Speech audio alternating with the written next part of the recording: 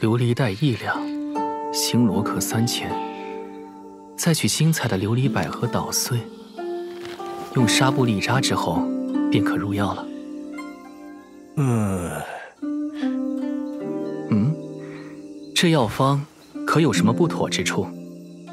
啊，不不不，白竹先生开的方子向来药到病除，怎么会有问题呢？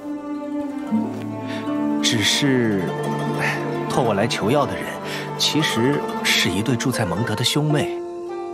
蒙德，那这些药材怕是不易得了。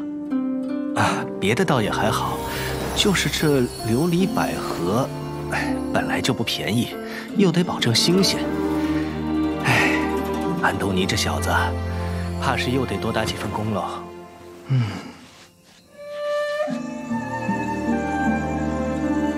这新的方子虽不如之前的起效快，但胜在循序渐进，固本培元，正适合久病之人。所需药材在蒙德附近应该也能找到。这被草史莱姆吞下去过的树莓，这也太 奇病自然要用奇药来医嘛。我还另有一副方子备选。西尾与蛙皮熬煮，再添几滴长生的蛇涎。